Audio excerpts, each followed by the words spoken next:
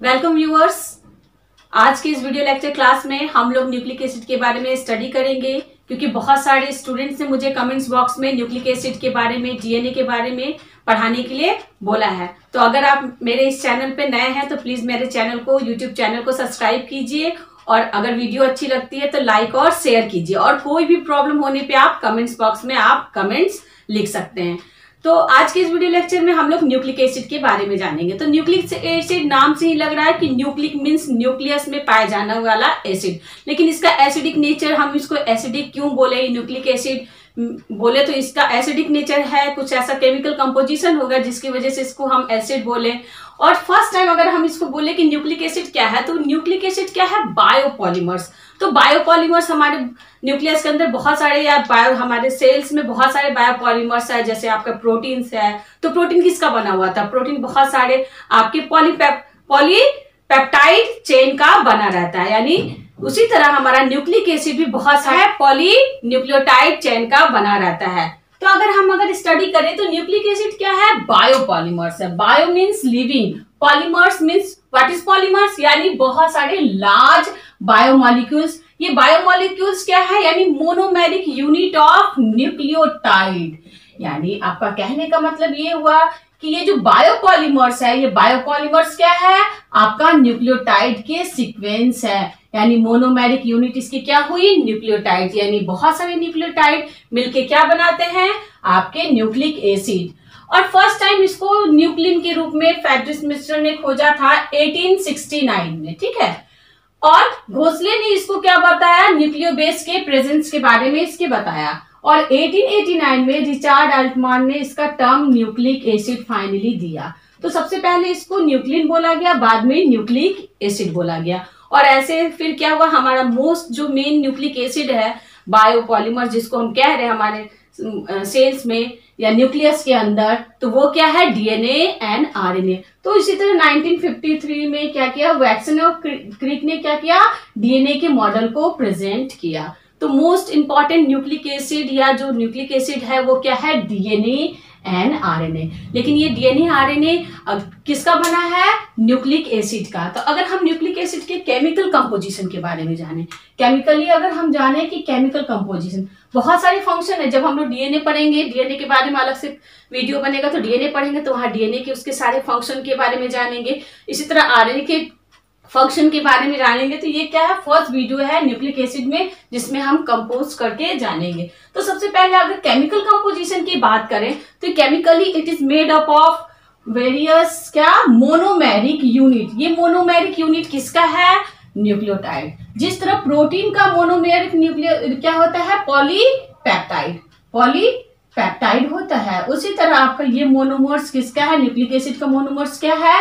Nucleotide तो अगर nucleotide की हम लोग बात करें तो न्यूक्लिक एसिड क्या है? पॉलीमराइज न्यूक्लियोटाइड का बना हुआ है। ये पॉलीमराइज न्यूक्लियोटाइड किसका फर्दर इसका कंपोजिशन देखेंगे? तो फॉस्फोरिक एसिड क्योंकि ये presence of phosphor group phosphate group के प्रेजेंस से या फॉस्फोरिक एसिड की प्रेजेंस से ही ये क्या करता है? न्यूक्लिक एसिड जो है एसिडिक इन नेचर होता है। और दूसरा क्या? न्यूक्लियोसाइड तो हम लोग जान गए कि पोलिमराइज न्यूक्लियोटाइड में कंटेन करता है फॉस्फोरिक एसिड एंड न्यूक्लियोसाइड ये न्यूक्लियोसाइड क्या है? आपका फर्दर न्यूक्लियोसाइड क्या कंपोज करता है? राइबो सुगर या डीऑक्सी राइबो सुगर जिसको हम सिंपल भाषा में कह सकते हैं पेंटो सुगर क्योंकि ये क्या होता है? पेंटो सुगर होता है। और दूसरा क्या? नाइट्रोजनस बेस और नाइट्रोजनस बेस जो होता है, वो प्रेजेंस होता है इन फॉर्म ऑफ़ पायरिमिडिन और प्यूरिन रिंग क्या कहेंगे इसको? पायरिमिडिन एंड प्यूरिन रिंग की तरह। तो इस तरह न्यूक्लिक एसिड के बारे में कॉन्सेप्ट क्या हुआ कि ये न्यूक्लियोटाइड सीक्वेंस का बना, यानी मोरोमर्स क्या है इसका? न्यूक्लियोटाइड और फर्दर न्यूक्लियोटाइड के बारे में अगर कोई पूछे तो न्यूक्लियोटाइड किसका सीक्वेंस है? फॉस्फोरिक एसिड एंड न्यूक्लियोसाइड और इसी तरह न्यूक्लियोसाइड में क्या है? सुगर यानी पेंटोज सुगर और पैरामिडिन तो अब हम इसके केमिकल कंपोजिशन के बारे में देख रहे हैं कि मेन हमारा केमिकल कंपोजिशन क्या हो गया? आप यहाँ देख सकते हैं। ये क्या है? आपका फॉस्फोरिक एसिड ये एक तरह से न्यूक्लियोटाइड सीक्वेंस है। तो मैंने ये क्या बनाया? रेड कलर का क्या दिखाया? फॉस्फोरिक एसिड अगर फॉस्फोरिक एसिड को देखेंगे तो ये क्या है? फॉस्फेट ग्रुप है और यही क्या है? फॉस्फेरिक एसिड फॉस्फेरिक एसिड किससे आपका ज्वाइंट है? आपका पेंटोज सुगर क्या बोलेंगे इसको? पेंटोज सुगर तो ये पेंटोज सुगर है और यहाँ पे ब्लू कलर का मैंने क्या बनाया? बेस ये बेस क्या है? पायरिमिडिन या प्यूरिन। हम नॉर्मली क्या बोलेंगे? पैरामिडिन या प्यूरिन रिंग के बारे में बताएँगे कि ये क्या है आपका। तो इसी को हम क्या देखेंगे कि सबसे पहले हम जान स्टडी करते हैं कि सुगर कि सुगर मॉलिक्यूल्स कैसे प्रेजेंट है न्यूक्लिक एसिड में? तो सुगर मॉलिक्यूल्स जो प्रेजेंट है न्यूक्लियर न्यूक्लिक एसिड में अदरवाइज़ वो डीएनए है और आरएनए है तो ये क्या है? फाइव कार्बन एटम है। क्या है? फाइव कार्बन एटम जैसे जबकि हमारे बॉडी या सेल में आप जानते हैं hexo sugar six carbon atom होता है। वो क्या होता है? हेक्सो सुगर अनदर सुगर हम लोग जानते हैं, जिसमें क्या होता है? कार्बन की संख्या कितनी होती है? सिक्स होती है, जो हेक्सो सुगर है। लेकिन न्यूक्लिक एसिड में क्या होता है? फाइव कार्बन एटम अब हम देख सकते हैं आपका ये पेंटोज सुगर का स्ट्रक्चर दो तरह के पेंटोज सुगर हैं. फ़र्स्ट एंड सेकेंड तो first type of pentose sugar को हम क्या कहेंगे? राइबोज सुगर क्यों कहते हैं? अभी मैं बताती हूँ. और दूसरे सुगर को हम क्या कहेंगे? डीऑक्सी राइबोज सुगर तो अब हम अगर ये पेंटोज सुगर की स्ट्रक्चर को देखें ध्यान से तो पेंटोज सुगर के स्ट्रक्चर में हमने क्या देखा? कि आपका क्या है? ये फाइव रिंग हम अगर काउंटिंग करेंगे तो देखिए आपका फाइव रिंग है. और ठीक है रिंग में क्या है? आपके one two three four four carbon है। रिंग के अंदर कितने कार्बन है? यहाँ पे हम दिखा सकते हैं। One carbon two carbon three carbon four carbon और फाइव कार्बन जो है, वो क्या है? रिंग से आउट है।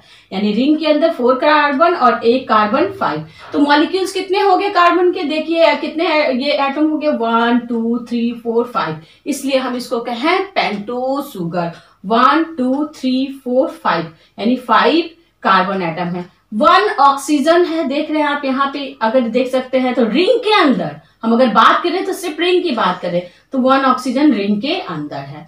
तो राइबोज सुगर की अगर हम बात करें तो राइबोज सुगर में कार्बन एटम हम देख सकते हैं, one, two, three, four, five atom पे है।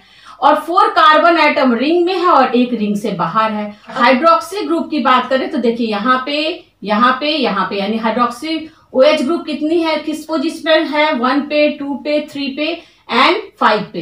यहाँ पे देखिए ओ एच ग्रुप यहाँ देखिए ओ एच ग्रुप यहाँ देखिए ओ एच ग्रुप एंड यहाँ देखिए ओ एच ग्रुप तो कितनी हो गई? पोजीशन नंबर वन पे टू पे थ्री पे एंड फाइव पे। और अगर हाइड्रोजन एटम की बात करें तो हाइड्रोजन एटम कहाँ पे है? वन पे टू पे थ्री पे फोर पे। तो ये हमारे क्या है? राइबोज सुगर का स्ट्रक्चर है। अब यहाँ पे डीऑक्सी राइबोज और राइबोज सुगर में बस क्या फ़र्क होता है कि डीऑक्सी और राइबोज सुगर में बस इतना ही फ़र्क है कि कार्बन नंबर या टू नंबर प्लेस कौन सा प्लेस पे टू नंबर जहाँ पे कार्बन नंबर टू है। यानी प्लेस टू पे क्या है? यहाँ पे ओ OH ग्रुप है। क्या है? यहाँ ओ OH ग्रुप है। लेकिन डीऑक्सीराइबोज सुगर में, जिसको हम क्या कहते हैं? डीऑक्सी मतलब ऑक्सीजन का लॉस हो जाता है। तो आप यहाँ पे देख सकते हैं, यहाँ पे क्या है? ओ OH ग्रुप है। But in case of deoxyribose sugar यहाँ सिर्फ़ एच है। एक ऑक्सीजन का क्या हो गया? लॉस हो गया, यानी ऑक्सीजन एटम नहीं है। तो यहाँ पे अगर भी यहाँ पे भी अगर हम इसको काउंटिंग करें कार्बन एटम का तो देखिए पहले ऑक्सीजन को जानिए। रिंग के अंदर कितने ऑक्सीजन है? एक ऑक्सीजन और इसको अगर काउंटिंग करें कार्बन एटम का तो वन टू थ्री फोर और फोर क्या है? रिंग के अंदर कार्बन एटम है और एक क्या है? बाहर कार्बन एटम है। अगर हम इसकी हाइड्रोजन एटम की बात करें तो हाइड्रोजन एटम कहाँ पे प्रेजेंट है? वन नंबर पे आप देख सकते हैं टू नंबर पे भी दोनों जगह। यहाँ पे भी, यहीं पे क्या था? जहाँ राइबोज सुगर में ओ OH ग्रुप था, यहाँ पे क्या है ये? एच सिर्फ़ एच है, क्योंकि ओ का लॉस है। इसलिए इसको बोले डी ऑक्सी क्या बोले? डी ऑक्सी मीन्स ऑक्सीजन का लॉस है उस सुगर में पेंटो सुगर में। इसलिए इसका नाम क्या बढ़ा? Due to loss of oxygen deoxy ribo sugar तो यहाँ पे आप देखिए हर आपका ओ, ग्रुप आपका एक ओ एटम का क्या है? लॉस है।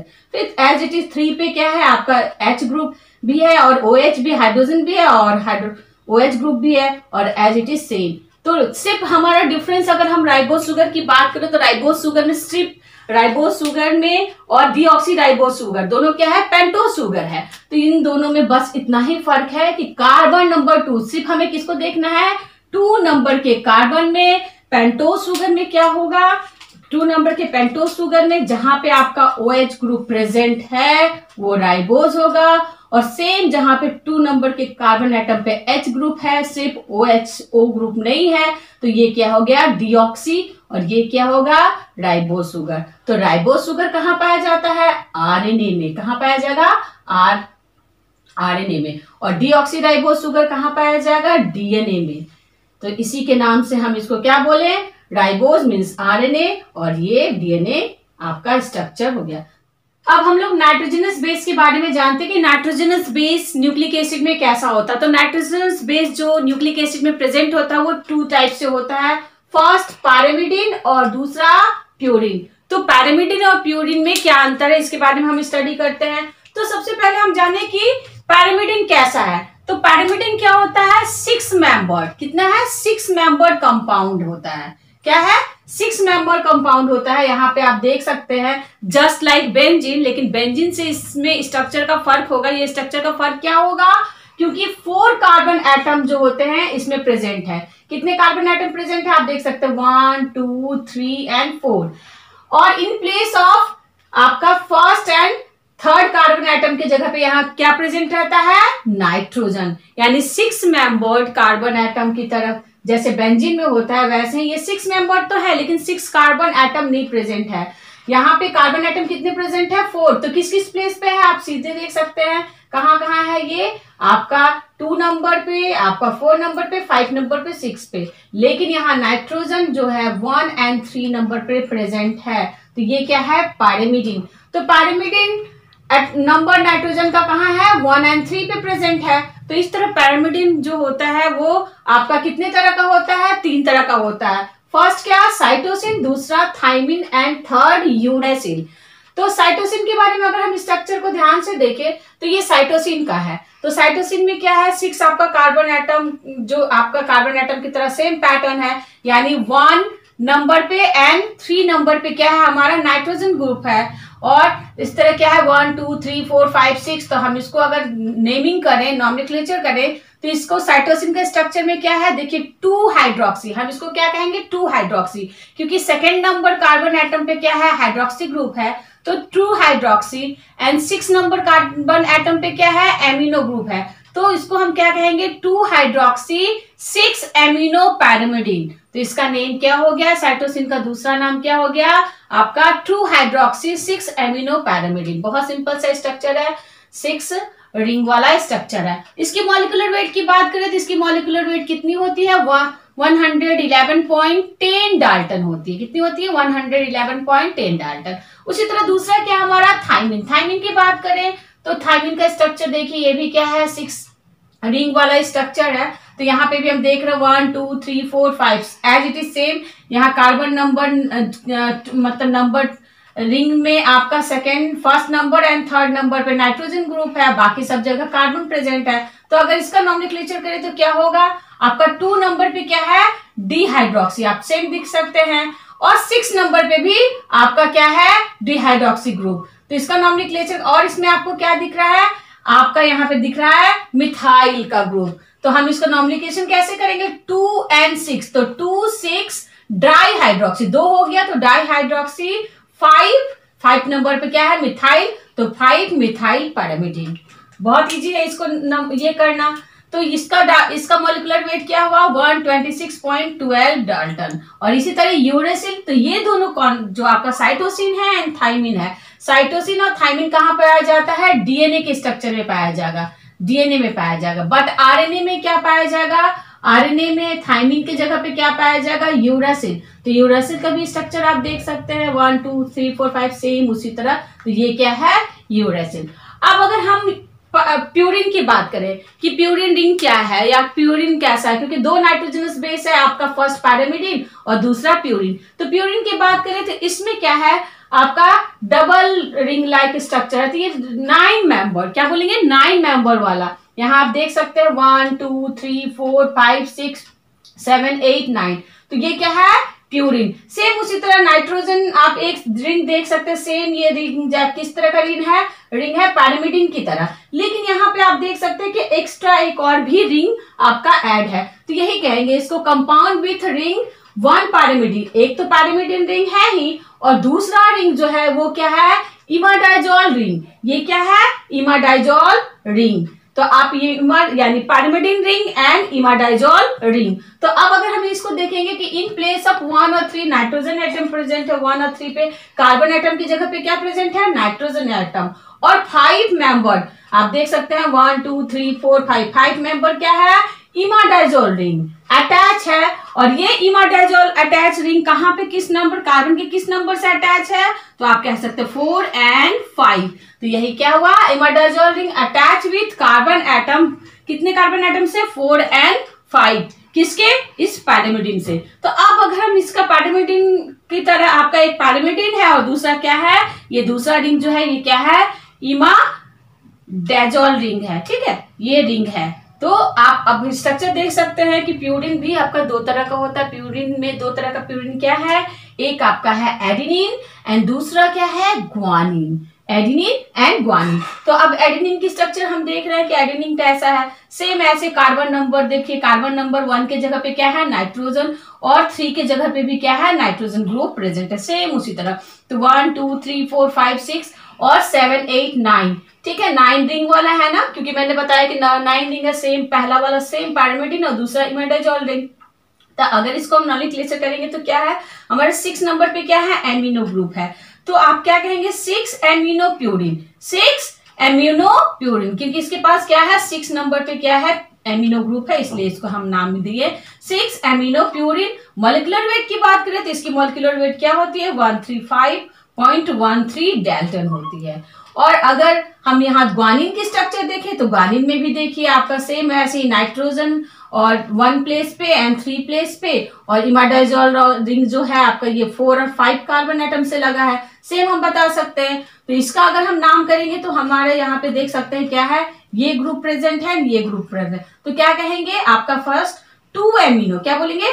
टू एमिनो और सिक्स पे क्या है? हाइड्रोक्सी ग्रुप है। तो two amino six hydroxy purine क्या हुआ? Two amino six hydroxy purine और मोलिकुलर वेट की बात करें तो one fifty five point one three one five one point one three dalton इसका मोलिकुलर वेट होता है। तो सब बहुत इजी है। क्या है? प्यूरिन और पैरामिडिन बेस के बारे में अगर हम जानेंगे तो दो तरह का नाइट्रोजन सीक्वेंस हमारा प्यूरिन और पैरामिडिन है।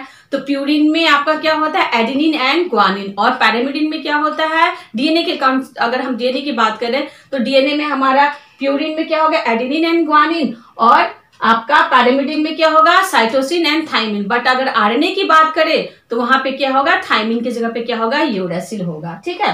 तो ये आपका क्या है? Purine nitrogenous base purine and pyrimidine इसके बाद हम देखते हैं कि फॉस्फोडिक ग्रुप कैसे होता है। तो phosphoric acid in the nucleic acid तो अगर हम प्रेजेंस देखें फॉस्फोरिक एसिड का कि कैसे प्रेजेंट होता है तो इट में भी ऑल्सो प्रेजेंटेड एज फॉस्फेट कैसे प्रेजेंट है? फॉस्फेट की तरह। और ये कनेक्ट रहता है सुगर मॉलिक्यूल से यानी पेंटो सुगर मॉलिक्यूल से कनेक्ट होता है। तब ये किसका स्ट्रक्चर बना देगा? न्यूक्लियोटाइड का। तो सबसे इंपॉर्टेंट चीज़ आप देख सकते हैं कि हमारा फॉर्मूला क्या है? आपका फॉस्फोरिक एसिड का एच थ्री पीओ फोर तो आप देख सकते हैं ये क्या है? आपका स्ट्रक्चर किसका है? आपका फॉस्फोरिक एसिड का। तो फॉस्फोरिक एसिड का एक बहुत इंपॉर्टेंट चीज़ है नोट आउट कर लीजिए आप लोग कि phosphate ester of nucleoside is nucleotide यानी फॉस्फेट ग्रुप जब एस्टर बॉन्ड न्यूक्लियोसाइड के साथ लगता है, और न्यूक्लियोसाइड क्या होता है? न्यूक्लियोसाइड हमारा सुगर मॉलिक्यूल्स और नाइट्रोजनस बेस तो सुगर मॉलिक्यूल यानी पेंटो सुगर और नाइट्रोजनस बेस के साथ जब फॉस्फेट स्टर बॉन्ड लगता है तो ये क्या हो जाता है? न्यूक्लियोटाइड और क्या होता है? फॉस्फेट ग्रुप या फॉस्फोरिक एसिड के प्रेजेंस की वजह से ही क्या होता है? ये आपके न्यूक्लिक एसिड को ज़्यादा हाइलिक एसिडी नेचर करता है। तो यहाँ हम देख सकते हैं ये क्या है? फॉस्फेट ग्रुप है। तो अब फॉस्फेट ग्रुप की प्रेजेंस की वजह से अगर हमारा सुगर मॉलिक्यूल्स है पेंटोज सुगर है, आपका नाइट्रोजनस बेस है और क्या है? फॉस्फेट ग्रुप है। तो ये हमारा मोनोमर्स जो है, ये क्या हो गया? न्यूक्लियोटाइड तो अब हम इसका स्ट्रक्चर को देख ले रहे हैं कि न्यूक्लियोसाइड और न्यूक्लियोटाइड में अंतर क्या है, क्योंकि न्यूक्लियोसाइड से फिर फर्दर किसका प्रेजेंस होता है? न्यूक्लियोटाइड का। तो न्यूक्लियोटाइड न्यूक्लियोसाइड की अगर हम बात करें तो न्यूक्लियोसाइड में क्या होता है? Deoxyribose sugar otherwise ribose sugar कुछ भी बोल सकते डीएनए के लिए आपका डीऑक्सीराइबोज शुगर और आरएनए के लिए राइबोज शुगर तो डीऑक्सीराइबोज सुगर जब आपका नाइट्रोजनस बेस ये नाइट्रोजनस बेस हमारा एडिनिन है थाइमिन है ग्वानिन है साइटोसिन है, किसी के साथ एडिशन हो तो वो क्या बनाएगा? जैसे आपका एडिनोसाइन ग्वानोसाइन तो यहाँ हम देख सकते हैं कि अगर हमारा एडिनिन के साथ आपका डीऑक्सीराइबोज सुगर है तो वो सुगर मॉलिक्यूल यानी पेंटोज शुगर है तो ये क्या बना लेगा? एडिनोसाइन इसी तरह आपका ग्वानिन के साथ अगर आपका क्या है? ग्वानिन के साथ अगर डिऑक्सीराइबोज शुगर है तो क्या बना लेगा? शुगर मतलब शुगर मॉलिक्यूल तो ग्वानोसाइन ऐसे ही साइटेडिन और थाइमोडिन तो ये हमारा क्या हो गया? न्यूक्लियोसाइड और इसी न्यूक्लियोसाइड में जब क्या होगा? फॉस्फोरिक ग्रुप या फॉस्फेट ग्रुप लग जाएगा। फॉस्फोरिक एसिड या फॉस्फेट ग्रुप लग जाएगा, तब ये क्या फॉर्मेशन करता है? न्यूक्लियोटाइड का। तो न्यूक्लियोटाइड यानी phosphoric nucleoside plus phosphoric acid. तो फॉस्फोरिक एसिड फॉस्फेट ग्रुप लग जाएगा, न्यूक्लिक न्यूक्लियोसाइड के साथ फॉस्फेट ग्रुप का एडिशन हो जाएगा तो क्या हो जाएगा? आपका न्यूक्लियोटाइड का फॉर्मेशन हो जाएगा। तो चारों तरह के न्यूक्लियोटाइड्स के लिए अलग अलग जैसे आपका डीएनए के लिए डीऑक्सीराइबोज जब आप एडिनोसाइन प्लस आपका फॉस्फेट ग्रुप तो क्या बन गया ये? Deoxy adeno adenylic acid deoxy adenylic acid और अदरवाइज़ इसको कह सकते हैं एडिनोसाइड मोनोफॉस्फेट क्या कह सकते हैं? एडिनोसाइड मोनोफॉस्फेट ये भी कह सकते हैं। उसी तरह अगर आपका ग्वानोसाइन के साथ आपका फिर फॉस्फेट ग्रुप भी ऐड हो गया तो ये क्या बन गया? ग्वानलिक एसिड इसी तरह आपका साइटिडिन साइटिडिन के साथ अगर आपका फॉस्फेट ग्रुप का एडिशन हो गया तो ये क्या बन गया? डी ऑक्सी साइटिडाइलिक एसिड और थाइमिन के साथ थाइमोडिन के साथ अगर फॉस्फेट ग्रुप का एडिशन हो गया तो ये क्या हो गया?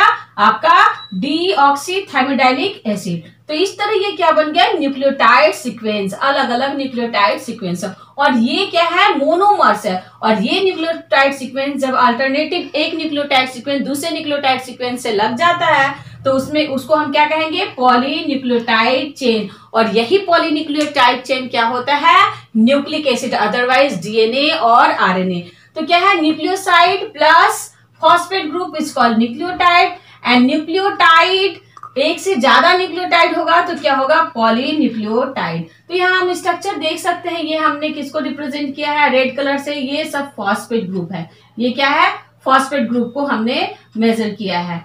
तो यहाँ भी देख सकते हैं phosphate group phosphate group phosphate group तो अगर हम अगर इसको देखें, ठीक है? तो ये क्या है? फॉस्फेट ग्रुप विथ ये सुगर मॉलिक्यूल्स और ये नाइट्रोजनस बेस ये क्या है? नाइट्रोजनस बेस ये सब क्या है? नाइट्रोजनस बेस नाइट्रोजनस बेस तो यही स्ट्रक्चर होता है न्यूक्लियोटाइड का, एक तरफ़ के सीक्वेंस का. तो आप यहाँ पे देख सकते हैं कि ये आपका फॉस्फेट और सुगर क्या बना रहा है? बैकबोन ऑफ़ न्यूक्लिक एसिड, यानी ये फॉस्फेट ग्रुप और सुगर ग्रुप ग्रुप क्या बनाता है? बैकबोन ऑफ़ न्यूक्लियोटाइड या न्यूक्लियोटाइड का बैकबोन क्या है? सुगर और फॉस्फेट का बैकबोन है। इधर, और एक पोली एक न्यूक्लियोटाइड चेन दूसरे न्यूक्लियोटाइड चेन से किससे ऐड होता है? या अटैच होता है। ये क्या है? हाइड्रोजन बॉन्ड ये मैंने हाइड्रोजन जब डीएनए पढ़ाऊँगी या आरएनए पढ़ाऊँगी तो फर्दर आपको बताऊँगी कि हाइड्रोजन बॉन्ड का भी फॉर्मेशन कैसे होता है। तो बहुत सारा सिंपल सा स्ट्रक्चर है कि आपका फॉस्फेटिक और सुगर मॉलिक्यूल्स का एडिशन कैसा होता है। तो फॉस्फेट ग्रुप अगर मान लीजिए ये फॉस्फेट का मैं दिखा रही हूँ तो फॉस्फेट का एडिशन सुगर मॉलिक्यूल्स के साथ कैसा होता है? आप इजिली देख सकते हैं कि आपका सुगर मॉलिक्यूल्स की अगर हम बात करें तो ये स्ट्रक्चर है सुगर मॉलिक्यूल्स का। ये थोड़ा फॉस्फेट ग्रुप में ऊपर दिखा ये है आपका O, one, two, three, four और यहाँ पे ये फाइव। और यहीं पे क्या होता है आपका?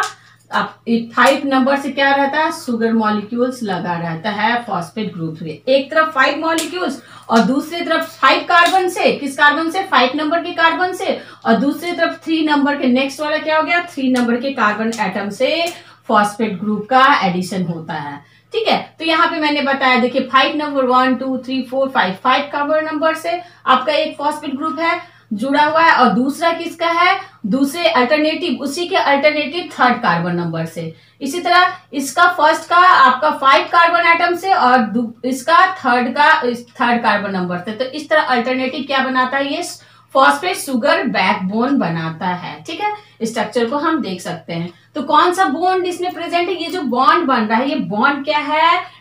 एस्टर बॉन्ड बहुत ही इंपॉर्टेंट है, बहुत ही स्ट्रॉन्ग बॉन्ड होता है, जिसको हम क्या कहते हैं? एस्टर बॉन्ड कहते हैं। यानी सुगर के साथ जो आपका शुगर मॉलिक्यूल्स के साथ, यानी पेंटो शुगर के साथ जो फॉस्फोरस का एडिशन हो रहा है, जिस बॉन्ड की वजह से उस बॉन्ड को हम क्या कहेंगे? एस्टर बॉन्ड यानी फॉस्फोडाइस्टर बॉन्ड से अल्टरनेटिव फॉस्फोडाइस्टर बॉन्ड से ये लगा रहता है। तो यहाँ पे हम स्ट्रक्चर यहाँ देख सकते हैं, अभी हम आपको डिटेल में बता रहे हैं। तो शुगर का हम जान गए कि पेंटोज शुगर का एडिशन कैसे हो गया फॉस्फेट ग्रुप से। इसी तरह आपका क्या है? अब यहाँ पे क्या रहेगा? नाइट्रोजनस बेस का एडिशन होगा। यहाँ पे आप देख सकते हैं कि नाइट्रोजनस बेस मैंने बनाया है। तो ये बेस बेस का एडिशन कैसे होता है? किस तो बेस किससे लगा रहता है? सुगर मॉलिक्यूल और नाइट्रोजनस बेस के बीच में जो बॉन्ड होता है, इस बॉन्ड को हम कहते हैं ग्लाइकोसाइडिक बॉन्ड कौन सा बॉन्ड कहेंगे? किस बॉन्ड से बना रहता है? ग्लाइकोसाइडिक ठीक है? ग्लाइकोसाइडिक बॉन्ड ठीक है? इस बॉन्ड से अटैच होता है। तो यहाँ आप देख सकते हैं ग्लाइकोसाइडिक बॉन्ड तो ग्लाइकोसाइडिक बॉन्ड में भी आपका कैसा होगा? कार्बन नंबर वन से आपका अगर वो प्यूरिन हमारे पास दो तरह का नाइट्रोजनस बेस है। एक क्या है? प्यूरिन है और दूसरा क्या है? पैरामिडिन तो पैरामिडिन के कार्बन नंबर पैरामिडिन में क्या होगा कि शुगर मॉलिक्यूल्स के कार्बन फ़र्स्ट से आपका पैरामिडिन का कार्बन नंबर आपका उसका थ्री नंबर जो नाइट्रोजन था, उसका किससे लगेगा? वो थ्री नंबर से एडिशन होगा। यानी वन और थ्री के बीच में एडिशन होगा। लेकिन वहीं पे प्यूरिन के लिए क्या होगा? इसका कार्बन मॉलिक्यूल्स वन शुगर का किससे लगेगा? नाइन के।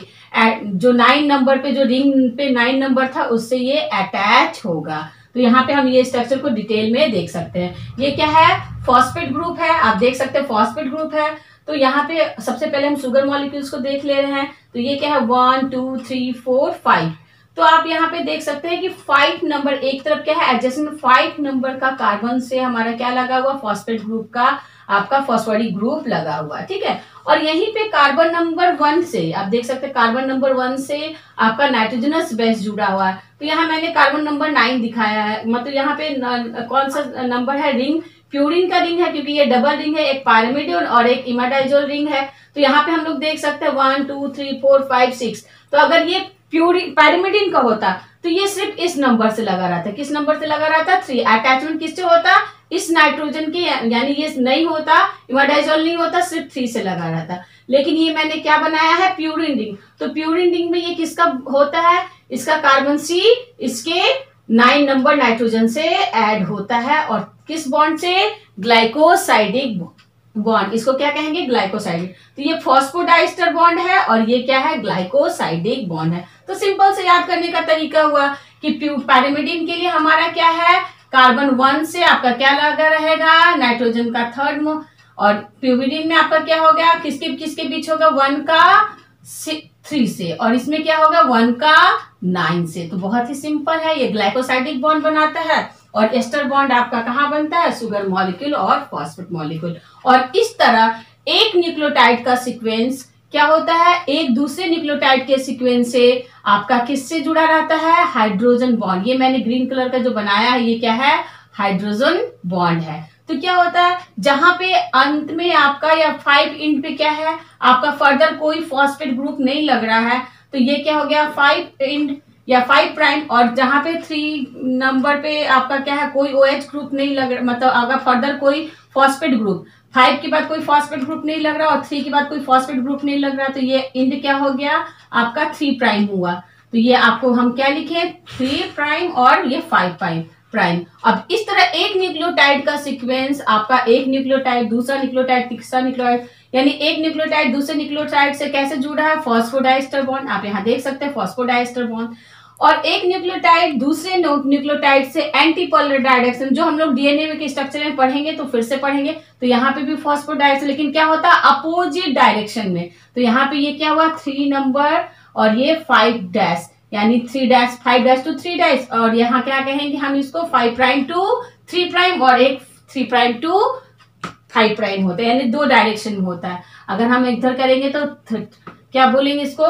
फाइव प्राइम से थ्री प्राइम और इधर इसका एंटी पैरल हो जाएगा तो क्या हो जाएगा? Three prime five prime two three prime ठीक है? तो ये दो आपके अटैच होते हैं। तो आई थिंक कि ये आपको बहुत इजीली समझ में आया होगा और अगर आप मेरे इस चैनल पे नए हैं तो प्लीज़ सब्सक्राइब कीजिए और नेक्स्ट वीडियो में आप लोग जो भी कमेंट्स बॉक्स में कहेंगे, वो वीडियो में आप आप लोग के लिए हमेशा प्रोड्यूस करते रहूँगी, बनाते रहूँगी।